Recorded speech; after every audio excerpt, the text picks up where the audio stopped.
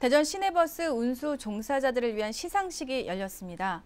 지난 한 해 동안 시내버스 운수 종사자가 시민들의 소중한 생명을 구한 일이 있었는데요. 오늘 시민 기자단 뉴스에서 취재했습니다. 황주희 시민 기자가 다녀왔습니다. 지난 12월 20일 소비자교육중앙회 대전시 지부가 바른 교통문화 조성을 위한 버스 회사 및 친절 운전자 시상식을 개최했습니다. 이번 시상식은 주부교실에서 실시한 시내버스 운행 실태 점검에서 우수한 성적을 거둔 운전자와 버스회사에 대한 시상입니다.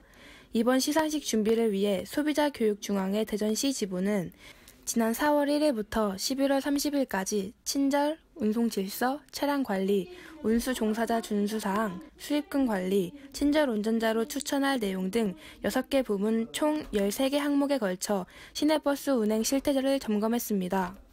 이 과정에서 총 202명의 모범 운전자가 추천됐으며 그 중에서 고득점인 7명의 친절 운전자와 친절 운전자가 많은 모범 버스 회사 3곳을 선정해 시상식을 진행했습니다. 친절 운전자 최우 수상은 협진 운수 주식회사 전영태 기사가 차지해 대전 시상상을 수상했습니다. 평상시대로 회사에서 기억 받은 대로 어, 사장님이 항상 기억에 1, 4분기, 4, 4분기 할때 어, 대전 시민을 친절하게 모시고 가족처럼 모셔라. 그래서 분기별로 참 기억을 잘 받고 한 사항인데 제가 이 큰 수상을 받게 돼서 매우 감사합니다. 앞으로도 더 시내버스 하면서 대전 시민들을 가족처럼 잘 모시겠습니다. 우수상은 대전 승합 주식회사의 최대훈 기사로 대전 시의회 의장상을 받았습니다. 모범상은 금성교통 주식회사 김희건 기사, 동건운수 주식회사 김기현 기사, 경희군수 주식회사 이문호 기사, 대전버스 주식회사 강현석 기사, 동인여객 주식회사 양희수 기사 등 5명입니다. 뭐 오늘 뭐 수상하는 것도 그 전에도 한 번 하긴 했는데 항상 똑같아야 된다는 생각을 갖고 있어요. 그래서 뭐 더 친절하고 더, 더 잘하면 좋겠는데 뭐 이보다는 일단 최대한 저도 노력하고 더 열심히 할 거라고 계산하고 있습니다. 그리고 앞으로는 뭐 시민들도 많이 호응을 해주시고 하면 저희들도 더 열심히 뛰고 뭐 안전에 대해서는 저희들이 책임지고 해야 되니까 그 목표로 갖고 계속 달리고 있습니다. 그러니까 더 이제 앞으로 뭐 2000, 나중에 뭐 좋은 차가 나오고 뭘 해도 그만큼 또 우리가 노력을 한다 그러면 더 좋아질 거라고 생각하고 있습니다.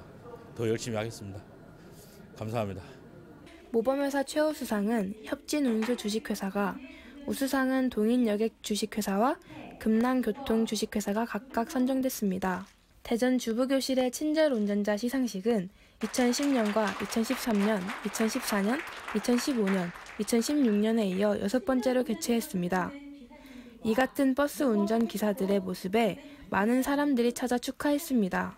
아, 저희가 지금 버스 공균형제가 한 지가 지금 10년이 다 됐거든요. 근데 해마다 이런 문화가 자꾸 발전이 돼서 기사님들도 앞으로 더 선진국이 되고 시민들도 앞으로 더 발전하는 한 해가 되었으면 좋겠습니다. 모두 모두 축하드립니다.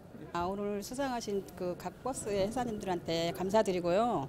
그동안 열심히 해주시느라고 친절하게 시민들 대전 시민을 위해서 열심히 해주시느라고 고생을 많이 하셨습니다. 저희들도 이거 친절 기사님 선정하는 과정에서 굉장히 힘들었어요. 그래서 심사숙고해서 이렇게 선정했거든요. 그러니까 오늘 대전 시민을 위해서 열심히 다시 한번 친절 기사를 열심히 해줬으면 감사하겠습니다. 특히나 어, 그 미담 사례도 좀 많이 나옵니다. 버스를 운행하다가 응급 환자가 발생했을 때 그 버스 운전 기사분들이 미리 받은 그 응급 처치 요령을 통해서 귀중한 생명을 구한 사례도 좀 있고요. 어, 그런 사례들이 어, 사실은 시민들한테는 상당한 믿음을 주는 그런 사례거든요. 어, 저희들 그런 부분에 대해서도 앞으로도 뭐 그 얼마만큼의 보상이 될지 모르겠습니다만 표창도 드리고 또 널리 선양도 하고 알리고 이렇게 하겠습니다. 여러분들 계속해서 노력 부탁드리겠습니다. 고맙습니다. 친절 운전 기사들은 2018년도에도 시민들이 만족하는 친절 봉사 정신을 가지고 임할 것을 다짐했습니다. 우리 종사자분들도 참 어려운 역경들에도 많이 하는데 지가 참 이렇게 큰 상을 받아서 대단히 감사하게 생각합니다. 마음 노력하겠습니다. 뭐 지금하고 똑같이 뭐 변하지 않고 뭐 앞뒤 뭐 친구들 동료들 간에 서로 우애 있고 그렇게 그렇게 지낸다 그러면 뭐 더 좋을 것 같습니다. 한 해 동안 대전 시민들의 이동 수단, 버스를 운전하며 고생한 버스 운전 기사들, 2018년도 버스 운전 기사들의 안전과 친절을 통해 시민들을 맞이해 주길 기대해 봅니다. CNB 시민 기자 황주희입니다.